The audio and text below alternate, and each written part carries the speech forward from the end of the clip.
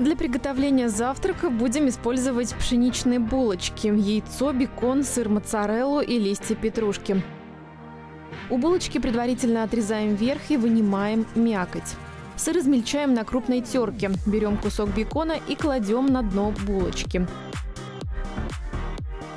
Разбиваем яйцо так, чтобы желток остался цел. Финальный штрих посыпаем сверху моцареллой и петрушкой.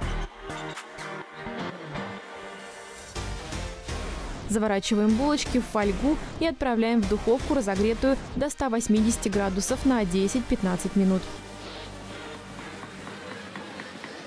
Это блюдо украсит ваш повседневный завтрак. Самое приятное, что рецепт совершенно условный. В качестве начинки подойдет все, что угодно. Бекон, фарш, оливки, маслины, вяленые томаты, печеные овощи и любая зелень и специи. Приятного аппетита!